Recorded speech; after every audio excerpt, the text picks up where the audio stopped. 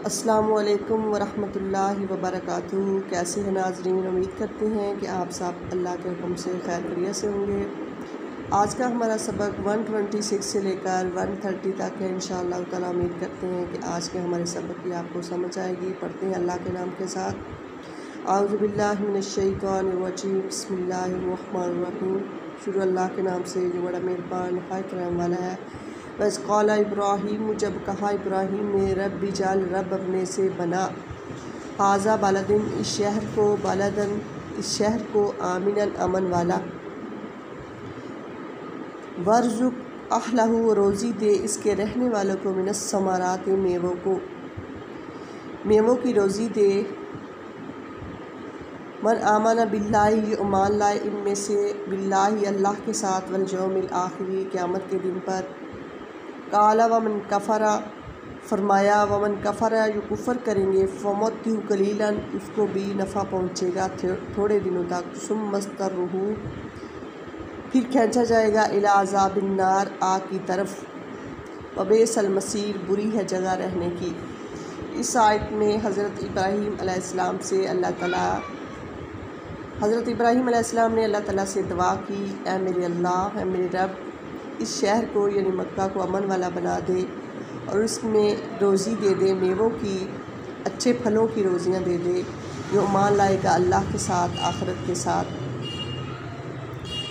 तो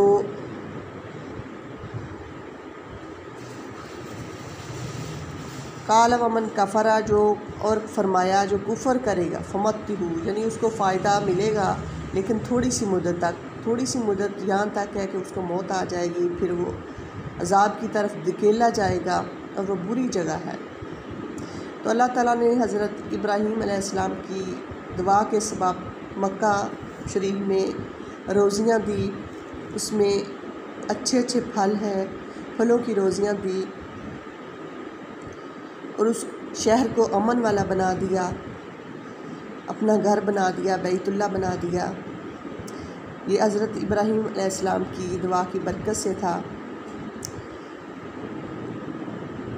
वरफ़ो इब्राहीमकवायदा वाइस यरफ़ा याद कर जब उठाते थे इब्राहीम इब्राहीम कवायदा बुनियादें, मिनल बैती खाना काबा की वसमाइल और इसमाईल अलैहिस्सलाम रब्बना तकब्बल मिन्ना, ए रब हमारे तकब्बल मिन्ना, कबूल कर हमारी तरफ़ से इन्ना का अंत अंतसमीम बेशक तो सुनने वाला, जानने वाला है। इस आयत में अल्लाह फरमा रहे हैं, जब हज़रत इब्राहीम हज़रत इसमाईसम खाना काबा की बुनियादें दीवारें उठा रहे थे तो दुआ कर रहे थे साथ साथ ए हमारे रब, ये हमारी तरफ़ से हमारी मेहनत को कबूल फरमा बे तक बेशक तू सुनने वाला, जानने वाले है। रबना वजालना ए रब हमारे वजालना कर दे हमको मुसलिमीन लका हुक्म फरमा बरदार मुसलमान बना दे अपना। हमें ज़ुर्रियतिना हमारी लाद में भी एक जमात उम्मत मुस्लिमत लका फरमा बरदार अपनी बना दे वारीना, दिखला दे हमको।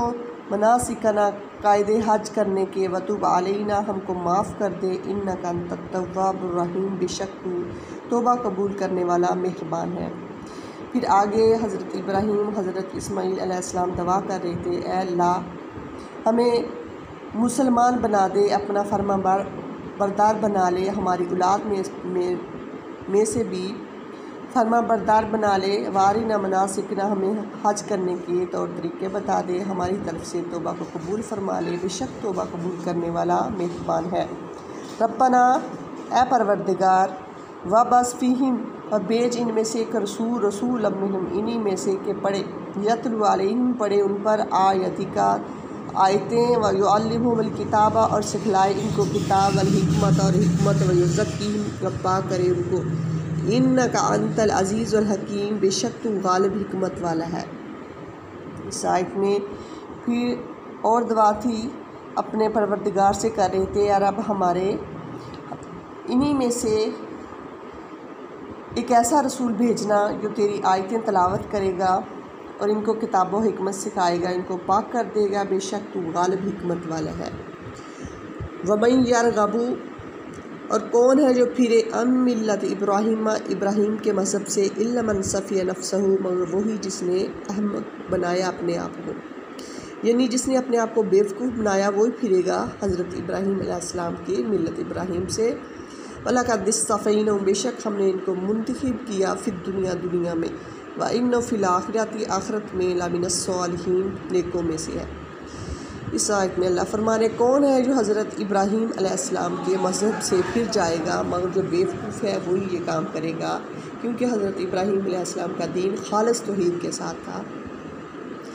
तो अल्लाह ने इनको एक बरगजीदा बंदा बनाया था दुनिया में और आखरत में भी इन ताला अल्लाह फरमा रहे हैं कि वो नेकों में है। आज का हमारा सबक वन थर्टी तक ख़त्म हुआ। इन ताला मिलते हैं नई क्लास के साथ। फ़ी अमान